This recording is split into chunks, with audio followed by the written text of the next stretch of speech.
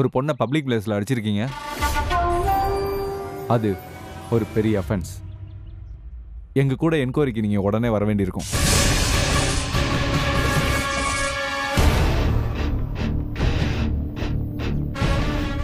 பொதுவா வெளியில யாரை அடிச்சாலும் அதுவும் காரணம் இல்லாம தாக்குனா அது பெரிய குற்றம்.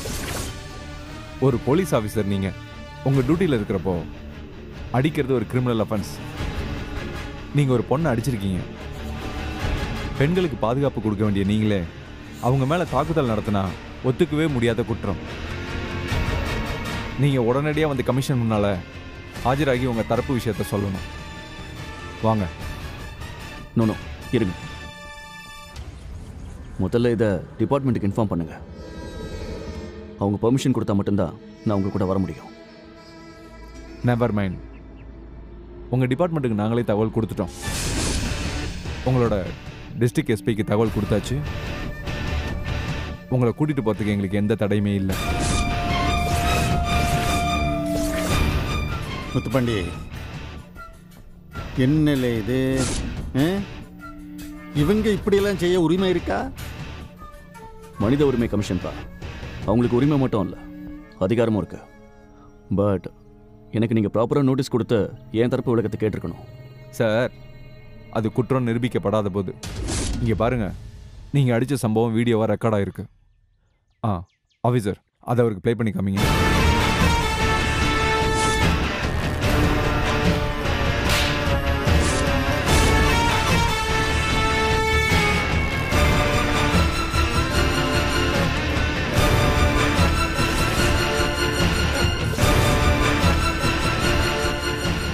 மிஸ்டர் முத்துப்பாண்டி டிலே பண்ணுறதுக்கெலாம் நேரம் இல்லை. வரீங்களா? விசாரணைக்கு ஒத்துழைக்கலைன்னா அதுக்கு ஒரு தனி சார்ஜ் ஷீட் போடுவோம். பரவாயில்லைங்களா? இல்லை சார் நான் ஒத்துழைக்கிறேன். இ- இருல நான் நம்ம வக்கீல் அனுப்புதேன். அவரோட போ ம்? சார் அதுக்கெல்லாம் வாய்ப்பே இல்லை. வக்கீலுக்கு எங்கள் கமிஷனுக்குள்ளெல்லாம் வேலை கிடையாது. இவரை கோர்ட்டில் ப்ரொடியூஸ் பண்ணதுக்கப்புறம் வேணா அவரை வந்து பேசிக்க சொல்லுங்கள் இப்போ இவரை கூட்டிகிட்டு போகிறத தடுத்தா அப்புறம் உங்கள் மேலேயும் கேஸ் போட வேண்டியிருக்கும். பரவாயில்லையா?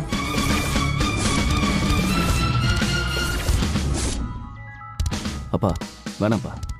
இது கொஞ்சம் சிக்கலான கேஸு முதல்ல நான் விசாரணைக்கு போய் என்ன ஏதுன்னு சொல்லுத்தேன் அப்புறமா நீங்கள் வக்கீலோட வாங்க.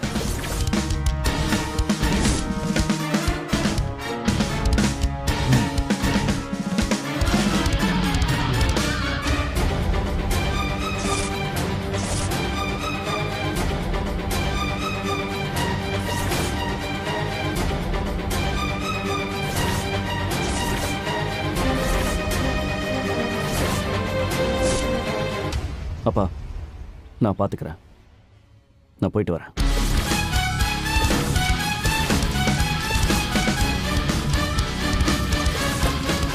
பாத்தீங்களா? தெருவுல ஒரு புள்ளைய போட்டு அடிச்ச கேஸ்ல என் மச்சான உள்ள தூக்கி போட்டிருக்காவுவ இப்படிப்பட்ட ஒருத்தனுக்கா பஞ்சாயத்து? கிளம்புங்கயா போய் உங்க வேலையை பாருங்க. நாங்களும் கிளம்புதான். இல்ல. கிளம்புவோம். நில்லுல நில்லுல. என்ன? எனக்கு ஒரு நெருக்கடிங்கப்ப தப்பி ஓடிடலான்னு பாக்கியோ? அவனே அந்த பிரச்சனையிலிருந்து வெளியில கொண்டு வர என்னால முடியும். அதுக்கு இதுக்கு சம்பந்தம் இல்ல. மரியாதையா இங்க நீ பதில் சொல்லிட்டு போல. உன் தங்கச்சி நீ கொடுக்க போறியா இல்லையா? ஆமாப்பா. அந்த கேஸ் வேற இந்த பஞ்சாயத்து வேற. இதுக்கு ஒரு பதில் சொல்லாம நீ இந்த இடத்த விட்டு போகவும் முடியாது இந்த ஊர்ல இருக்கவும் முடியாது. ஹலோ யாரு? யாரை சொல்றீங்க? யாரை ஊருக்குள்ள இருக்க முடியாதுன்னு சொல்லி மிரட்டுறது? ஐயா இது வேறங்க ஐயா. இது உள்ளூர் பஞ்சாயத்துங்க. என்ன பஞ்சாயத்து? இந்த மாதிரி ஊரை கூட்டி பஞ்சாயத்து பண்றதெல்லாம் இல்லீகல் சட்டவிரோதமான செயல். யார் யார் பஞ்சாயத்தை கூட்டினாங்களோ அவங்க எல்லாரையும் உடனடியாக எங்களால் அரெஸ்ட் பண்ண முடியும். அது தெரியுமா உங்களுக்கு? என்னையா இது? புது பூகம்பமா இருக்கு? இதை பாருங்க. ஊருக்குள்ள ஏதாவது பிரச்சனைனா அதை தீர்த்து வைக்கிறதுக்கு தான் நீதிமன்றமும் போலீஸ் ஸ்டேஷனும் இருக்கு. அதை விட்டுட்டு ஒரு தனி மனிதனா பஞ்சாயத்து வைக்கிறது தவறு. இதை பாருங்க. தமிழக அரசோட ஆர்டரில் தெளிவாக சொல்லியிருக்கு. யாராக இருந்தாலும் அவங்கள ஊரை விட்டு ஒதுக்கி வைக்கிறது அண்ணன் தண்ணி புழங்காதுன்னு சொல்கிறது இது எல்லாமே கடுமையான குற்றம் கிரிமினல் அஃபென்ஸ் அப்படி செய்கிறவங்கள உடனே தீண்டாமை வழக்கில் கைது பண்ணிடுவோம். அதுக்கு உங்களுக்கு யாருக்குமே பெயிலே கிடைக்காது.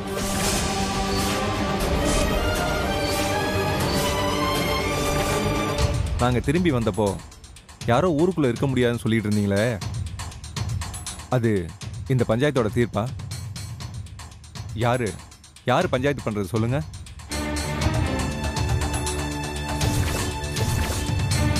சார் சார் அப்படிலாம் ஒன்றும் இல்லை. இங்க ஊரை விட்டு தள்ளி வைக்கிறத பத்தி எல்லாம் பேசல. ஊருக்குள்ள ஒரு சின்ன பிரச்சனை அதை பத்தி தானே பேசிட்டு இருந்தோம். அம்படுதே ஆமாங்க ஐயா சமூகம் சொல்றது சரிதான். எல்லாரும் இங்க பாருங்க. அப்படி இனிமே இங்க எதுவும் நடக்கக்கூடாது. அப்படி ஏதாவது இங்க நடந்து யாராவது உங்க மேல வந்து புகார் கொடுத்தாங்கன்னு வைங்க. இங்க இருக்கிற எல்லாரையுமே நாங்க நல்லா பார்த்துட்டோம். உடனடியா உள்ள வந்து எல்லாரையும் கைது பண்ணிட்டு போயிட்டே இருப்போம். புரிஞ்சுதுங்களா? சர்வாள் அந்த மாதிரி எதுவுமே இங்க நடக்கல.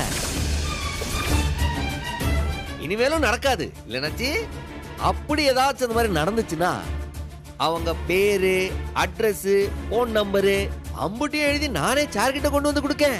நீங்க நீங்க பத்திரமா போயிட்டு வாங்க. ஷியோர் வாங்க.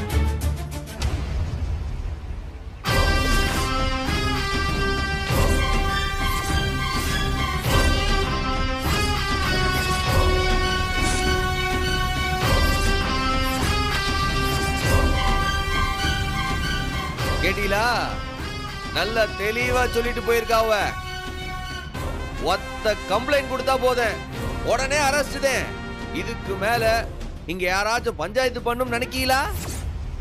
இல்ல பஞ்சாயத்தை பேச போதீங்களா? என்ன மிரட்டிட்டீங்களோ உண்மையை சொன்னேன். வேணா பஞ்சாயத்தை தொடர்ந்து பண்ணி பாருங்களேன். ஐயா வேணாம் ஐயா. இதை வேற மாதிரி பார்த்துக்கிடுவோம். இந்த பஞ்சாயத்துலாம் வேணாம். எங்களுக்கு சிக்கல் வந்து நாங்க ஜெயிலுக்கு போயிட்டு வந்துருயா வேணாயா? மனுஷங்களா நீங்களா? என்ன இதா உங்க லட்சணமா? இதான் நீங்க பஞ்சாயத்தை பத்தி நீங்க மதிக்கிற லட்சணம் இதானே? போகல போங்க. போங்க போங்க. ஏது ஏதாவது குளம் கோயில் ஏரின்னு போங்க. போய் எங்கேயாவது போய் தொலைங்க. ஐயா ஐயா ஐயா நில்லுங்க ஐயா ஐயா நில்லுங்க.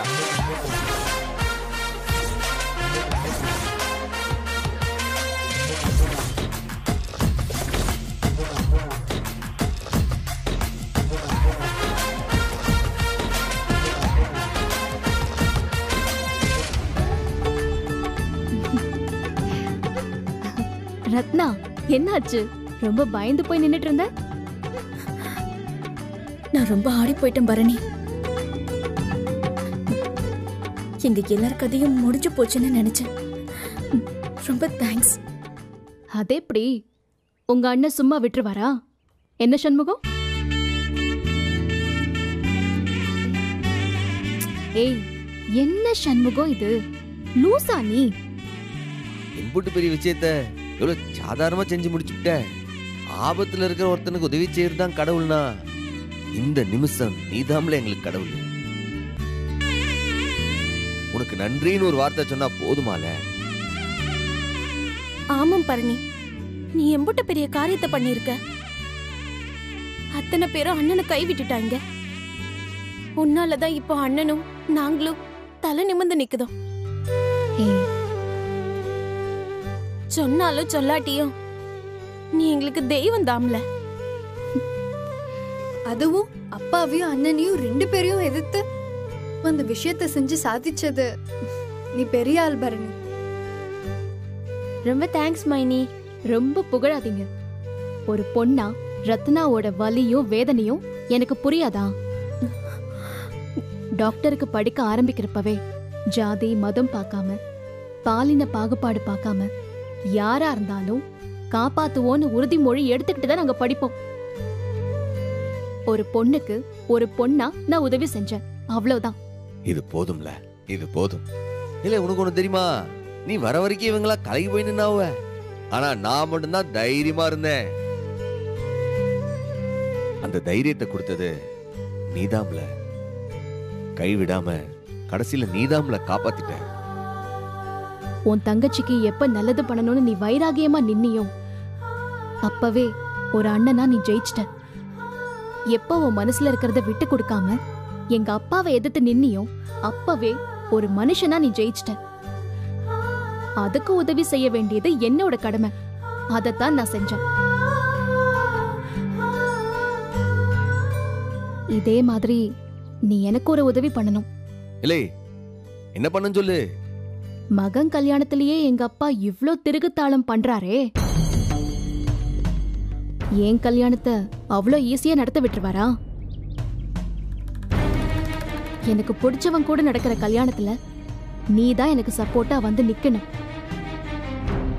என் கல்யாணத்தை நடத்தணும். அதுதான் நீ எனக்கு காற்று நன்றி. என்ன? இல்லை என் குடும்பத்தையே காப்பாத்திருக்கிற நீ. உன் கல்யாணம் இனி உன் கல்யாணம் இல்ல. அது என் பொறுப்பு. போதுமா? நீ கவலை விடு. சரி. இருக்கட்டும் பரணி. நீ வீட்டுக்கு போ. உங்க அப்பா உன்னை தேடினா கடைசியில நீதான் மாட்டிப்ப. சீக்கிரம் போ. எங்க அப்பா உங்க மேல இருக்கிற கோவத்துல கார்ல ஏறாம நடந்து போறாரு. அவரு வீடு போய் சேர ரொம்ப லேட் ஆகும். அதுக்குள்ள நான் சர்ருன்னு வண்டியில போயிடுவேன். கவலைப்படாதீங்க. நான் கிளம்புறேன். ம்?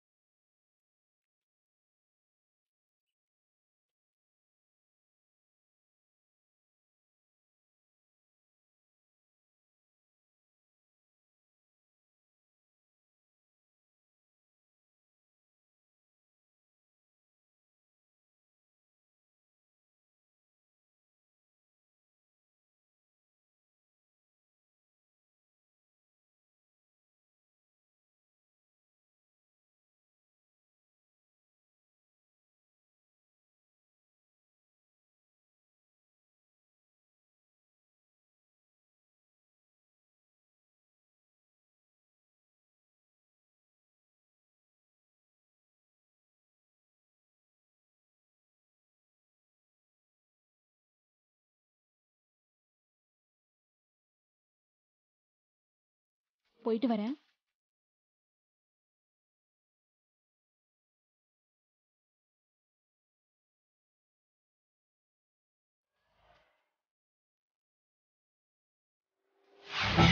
ஐயா இல்லைங்க ஐயா ஐயா. ஐயா ஐயா சொல்லுத கேளுங்க ஐயா, இல்லைங்கய்யா. எதுக்கு எம்புட்டு கோவம்? உரைக்கணையா இல்லைங்கய்யா ஐயா. மரியாதை போயிருங்க. அப்ப ஒரு மரியாதை கேட்டு போயிடும். ஐயா வண்டியிலயாவது ஏறி வாங்க ஐயா எதா இருந்தாலும் வீட்டுக்கு போய் பேசிக்கலாங்கய்யா. சொல்லுத கேளுங்க இல்லைங்கய்யா ஐயா. ஐயா கேவலம் ஒரு ஒரு சின்ன பைய ஊர் பஞ்சாயத்து முன்னாடி நிக்க வச்சு என் மான மரியாதை எல்லாத்தையும் வாங்கிட்டான். ஆ, அப்ப குறையாது மரியாதை இவன் நடந்து போறப்ப குறையுதோ? ஐயா அதுக்காக எங்கள மாதிரியே நீங்களும். நான் கேட்டேனாயா நானா கேட்டேன்?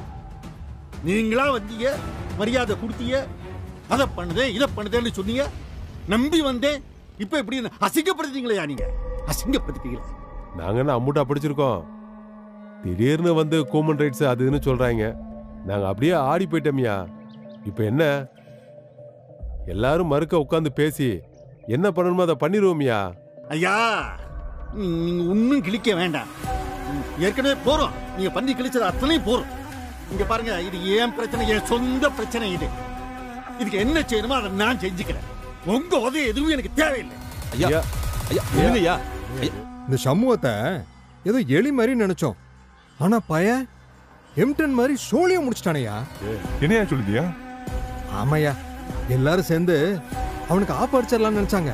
அவன் என்னடான்னா முத்துப்பாண்டிய தூக்கி உள்ள வச்சிட்டானையா? அவனும் ஒரு ஆளுதாம்ல. அப்படிலாம் அவனை சாதாரணமா நினைச்சிட முடியாது. ஐயா ஒரு நிமிஷம் நில்லுங்க ஐயா. நீங்க தப்பா எடுத்துக்கலன்னா நான் ஒன்னு சொல்லட்டுமா ஐயா? இந்த பாரு விவரமா பேசுறதா நினைச்சு என்ன வெறுப்பேத்தினா உனக்கு கொன்னே போட்டு வச்சனியா இல்லைங்கய்யா ஒன்னு தோணுது. யோசிச்சு பாருங்க. என்ன? அந்த சம்முவம் வெறும்பாய தானே இந்த கீமன் ரைஸ் இதெல்லாம் அவனுக்கு தெரியுமா என்ன? தெரியாதுல்ல? என்னல என்ன சொல்லுத நீ? இல்லையா நிச்சயமா இதுல வேற ஏதோ உள்கூத்து இருக்குங்கய்யா. யாரோ நம்மளை போட்டு தள்ளுறதுக்காகவே இதை நடத்திருக்காங்கன்னு நினைக்கிறேன். ஐயா இந்த சம்முவும் நாலாப்பு தாண்டி இருக்கான ஐயா. அவனுக்கு எப்படியா கீமன் ரைஸ் அது இதெல்லாம் தெரியும்? அந்த சம்முவ பைய இதை தனியா செஞ்சிருக்க வாய்ப்பே இல்லையா? யாரோ ஒருத்தர் பின்னாடி இருந்து இவனுக்கு சொல்லி கொடுக்குதாக. இப்போவும் சொல்லுதேன். நிச்சயமா பின்னாடி யாரோ ஒருத்தர் இருக்காக. பெருசா ஏதோ வேலை நடந்திருக்கு. சரிதானே? ஐயா சின்ன ஐயா இதுல இருந்து வெளியில வரணும்னா முதல்ல போட்டு விட்டு அந்த ஆளை கண்டுபிடிக்கணும் ஐயா. ஐயா அந்த போட்டு கொடுத்தவர்கள நைய புடச்சோன்னு வச்சுக்கோங்களேன். இந்த சிக்கல்லாம் தீந்து போயிடும் ஐயா.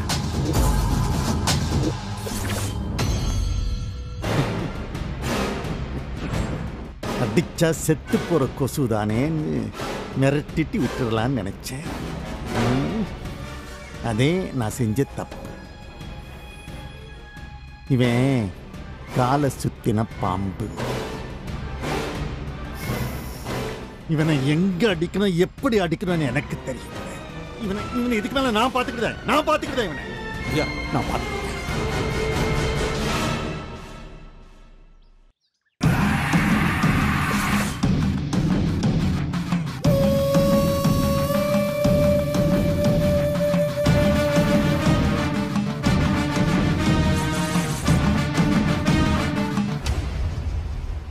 என்னங்க? இந்தாங்க தண்ணி. தண்ணி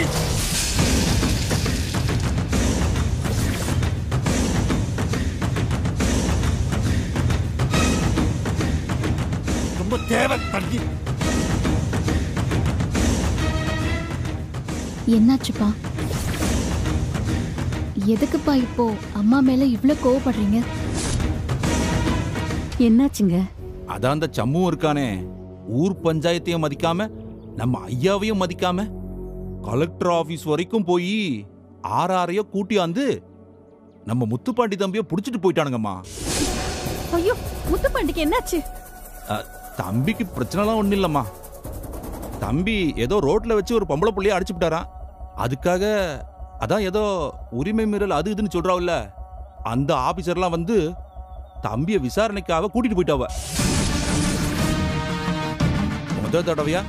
நம்ம ஊர் பஞ்சாயத்து நடக்காமலே போச்சுமா? இது வரைக்கும் ஏதாவது பிரச்சனைன்னா ஐயா பேச்ச மீறி ஆறாவது போலீஸ் ஸ்டேஷன் வாசலையாவது மிதிச்சிருப்போமா? ஆனா இன்னைக்கு அந்த ஆபீசருங்க நம்ம ஊருக்குள்ளேயே வந்து இனிமே இது மாதிரி இங்க பஞ்சாயத்து பிரச்சனை ஏதாவது பண்ணீங்க? அவ்வளோதான் அப்புறம் கோர்ட்டு கேஸ்னு பெரிய பிரச்சனை ஆயிடும்னு அவங்க நம்ம ஐயாவுக்கே ஆர்டர் போட்டு போறாங்கம்மா. நீங்க எல்லாம் பாத்துக்கிட்டு சும்மாவா இருந்தீங்க? மா எல்லாம் ஆபீசரா போயிட்டாங்கம்மா. இல்லனா அப்படியே இல சவத்த மூடி எல்லாம் இப்ப ரொம்ப தேவை. இவங்க எல்லாத்தையும் இப்ப சொல்லிக்கிட்டு இருக்க நீ ஆ? ஏ- ஏடி உனக்கு என்ன இப்போ இந்த உங்களுக்கு தெரியும் என்ன பிரச்சனைங்கிறது எல்லாருக்கும் தெரியும் இல்லையா? போங்க நம்ம பேசுவோம்? பெரிய பிரச்சனை இல்ல. ஒரு நாள்ல முடியிற கூத்து இல்ல போங்க பேசுவோம் சரிங்க கிளம்புறோம்.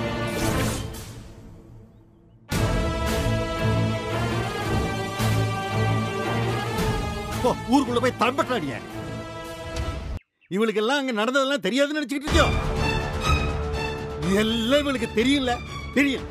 அங்க நடந்ததை எல்லாம் கேட்டு உள்ளுக்குள்ளே இவங்களுக்கு அப்படியே இவங்களுக்கு குழுகுலூடு இருக்கும் இவங்களுக்கு. குழுகுலூடு இருக்கும். வெளி வெளியில தான் இந்த மாதிரி ஒரு வருத்தப்படுற மாதிரி நடிக்கிறது.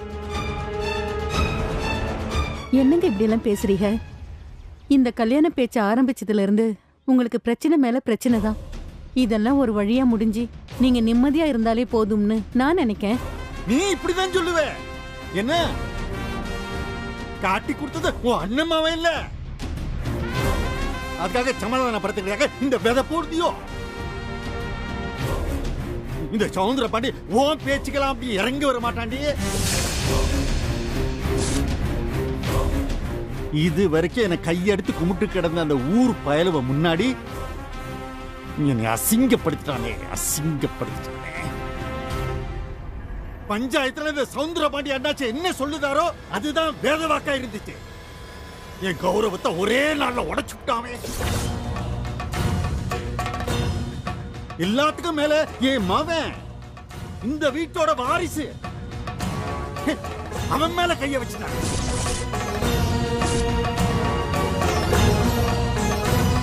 இல்ல அவனை சும்மா விடலாமா? விட மாட்டேன் விட மாட்டேன் வெக்கால அடிக்கிற காத்து வடக்காலி அடிக்கும்டே இன்னைக்கு பொழுதுல வேணா அவன் ஜெயிச்சிட்டான்னு அவன் நினைச்சுக்கிட்டு இருக்கலாம். நான் தோத்து விட்டேன்னு அவன் நினைச்சுக்கிட்டு இருக்கலாம். ஆனா நாளைக்கு பொழுதுன்னு ஒண்ணு இருக்கட்டே. அவனுக்கு வலுவான அடி விழுகும்டே அவனுக்கு தங்கச்சிங்க தானே அவனுக்கு உசுறு. ம். அவளுகளை வச்சு அவனை நான் அடிக்க இல்ல இல்ல அவன் அவன் இன்னைக்கு பண்ணது சாதாரண விஷயம் இல்லடி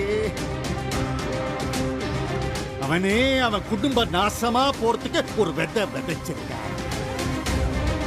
இந்த விதை முளைச்சி ஆலமரமா வளர்ந்து அவன் முன்னாடியே வந்து நிற்கான்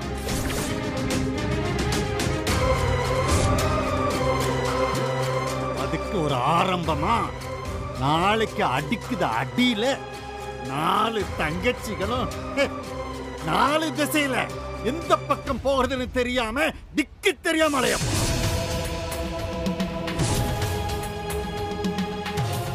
அப்படி அவன் அலையல. என் பேரு சவுந்தர பாண்டி இல்லட்டே